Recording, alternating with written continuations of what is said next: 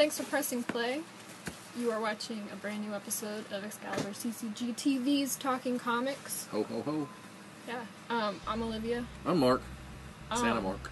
Yeah. And we are at Excalibur Comics, Yes, Cards and Games in Shreveport, but we also have a location in Texarkana that if you live there, you should check that one out. If you live here, you should check this one out. If you don't live here, you should check out our online store That's and right. website and Twitter and Facebook. All that stuff. All of those things. All that um, social media you kids are crazy about these days. Um, we're talking about the great new comics that hit the shelf on December 26th. That's the Day after the day. the after. anti-Christmas Eve, yes. opposite opposite day. Christmas hangover day, I like to call it.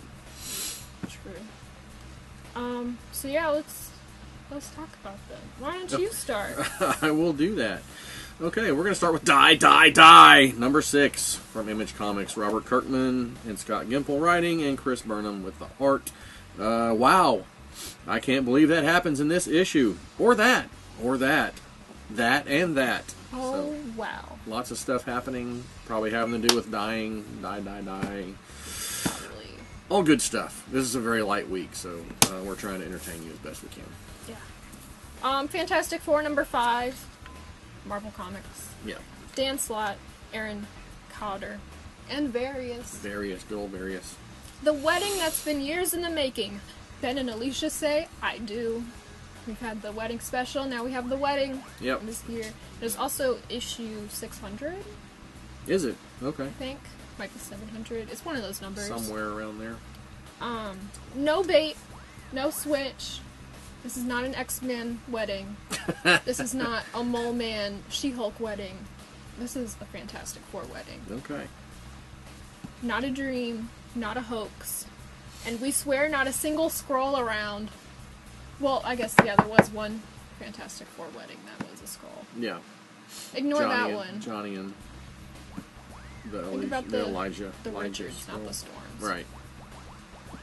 This is really happening! Really and truly. From the book that brought you the first, best, and longest running superhero marriage in comics, we give you The Wedding of Ben Grimm and Alicia Masters. Featuring an untold tale of the courtship of Ben and Alicia, a bachelor party that only Johnny Storm could throw, and a very special ceremony brought to you in the mighty Marvel Manor. All right. We had the bachelorette party in the special, and now we get to see We get to The see Johnny. Yep. party. Okay. Maybe the strippers are Skrulls. We don't know. All right. Uh, s- kind of staying with Marvel, but also with IDW. This is another one of their um, kid-friendly uh, line of comics that they're putting out with Marvel characters. This is Marvel Action Avengers number one from IDW. Matthew K. Manning writing. John Samari- Samariva, Samar- Samariva, some or not, I don't know. Uh, with the art. Uh, a new era of all-out Avengers action begins. A new team is formed to battle a mega-sized threat that is weirder.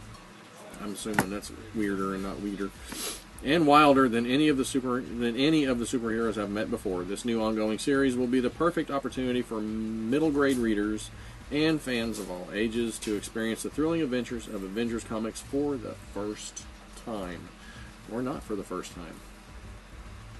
I mean, I'm sure it's adult friendly as well as kid friendly. Usually Yeah. that goes together. I read the Spider-Man one. It was actually kind of fun. The IDW one or the Yeah, the IDW one. They got good stuff. I Yeah. love them. Um, speaking of Spider-Man, Superior Spider-Man number one. He's here. Marvel Comics. Christos, Christos Gage, and Mike Hawthorne. Otto Octavius leaves the moniker of Doctor Octopus behind and once again becomes the Superior Spider-Man. If you think you've already read the most intense and surprisingly heartbreaking Superior Spider Man, prepare to be wrong.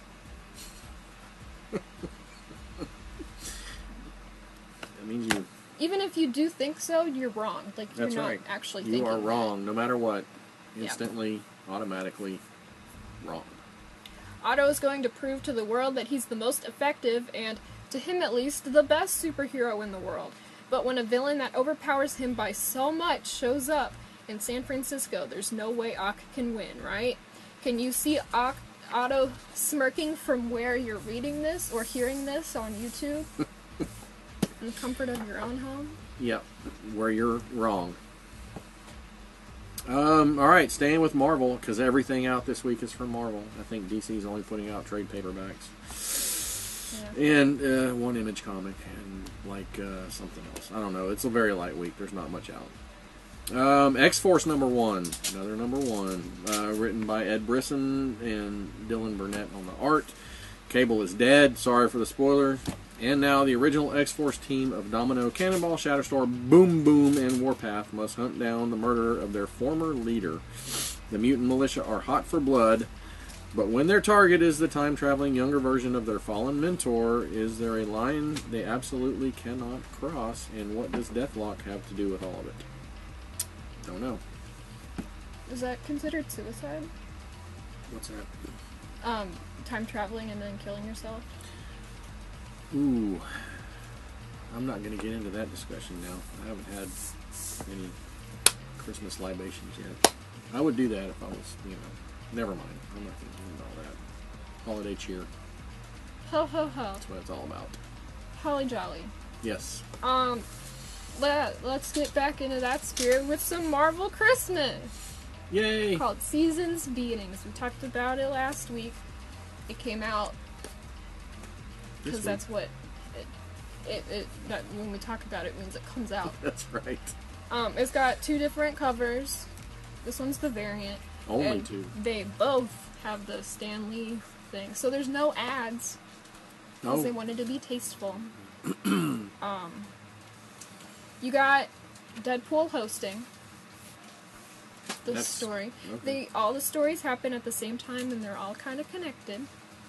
Um, you got the X Force with Santa, like a line of people coming in, and for some reason, everyone wants to see the X Force, even though they haven't been popular since the '90s. Hmm, I wonder why. well, now they have a new number one, so I guess they're like big again. I guess so. Um, Pete and Miles, Peter Parker and Miles Morales, um, have a little uh, discussion, I guess, about They do that. working on holidays. Oh, okay. You know, who needs a day off and who doesn't. Um, you got Squirrel Girl, Unbeatable, Unbeatable. parentheses. Um, and Doctor Doom, bringing the holiday cheer to the people who don't usually get some holiday cheer. Okay. And then you got the West Coast Avengers and some mall Santas All right. and a murder. Ooh, that sounds fun. And then it all comes up together at the end, and it's pretty, pretty fun. Okay. Kind of like a I Seinfeld episode. it. Everything ties in at the end. All right. Well, I'm gonna um, stick with Marvel, I guess, because that's what I do mostly with this older stuff. Um, this is um, another trade paperback, Spider-Man, Maximum Carnage, the whole shebang in one book, thirty bucks. Um, this has got uh, Spider-Man and some friends, uh, Iron Fist, Captain America, uh, Black Cat, Firestar, maybe some others, trying to stop Cloak and Dagger. Cloak and Dagger, yes, Cloak and Dagger in this as well. Um, trying to stop Carnage, and, and well, and an, and an uneasy alliance with Venom until the end. Trying to stop uh, Carnage and his little gang of baddies, uh, Shriek and Carrion and uh, somebody. Who else was it? Uh, Demogoblin, yeah, and the the six armed Spider-Man do, uh, doppelganger with the weird eyes. Um, anyway, they're all causing murder, mayhem, and all that good stuff in the city. So Spider-Man and all his friends get together to stop him, and then Spider-Man has to stop somebody from trying to kill Carnage, and I won't say who, but I'm sure you can guess. And uh, anyway, it's the whole story. It's a big, long uh, event. I kind of think they this came out. I think after around the same time as Knightfall. I think they wanted to do like a Spider-Man thing because the whole big Batman thing was going on. I don't know. That could be. Don't know. But that's my theory, and I'm sticking to it. Uh, anyway, it's a fun story. Um, lots of fights, lots of symbiotes, lots of carnage, and uh, fun stuff. So that's my recommendation for this week. Okay, well, I guess that brings this episode to a close. Because we've talked about all the things that we're supposed to talk about. This is true, and probably some things that we weren't supposed to talk about, but, Yeah. but that's okay. Um. Yeah. Ho, Um, ho. Be sure to check out the website, the Facebook, the Twitter, and subscribe. Yes, And hit that bell for notifications Yes. every time we post a new video. throw some more comments out there. and throw some comments. Yes. Uh, see you in the next episode. Uh, read good comics. Yes, that too.